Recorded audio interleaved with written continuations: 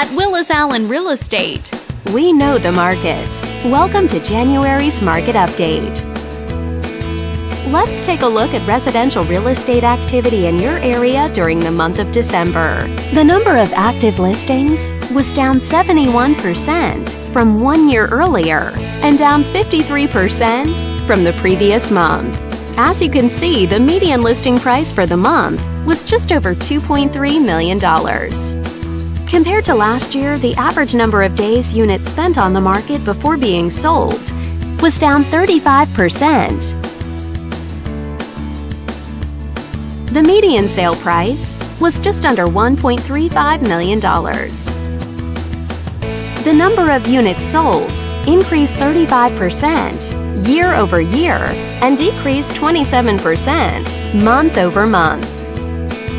Thanks for watching. We hope you use this information to make smart, informed decisions in your upcoming real estate transactions.